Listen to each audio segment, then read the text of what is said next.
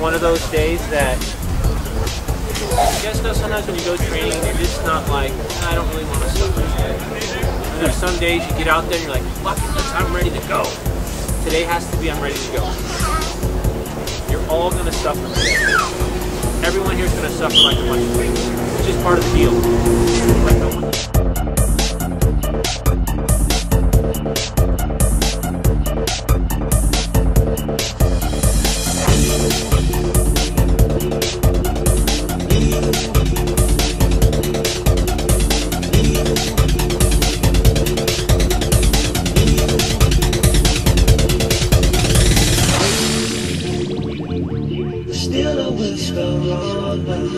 Feeling at my fingertips pulling at my skin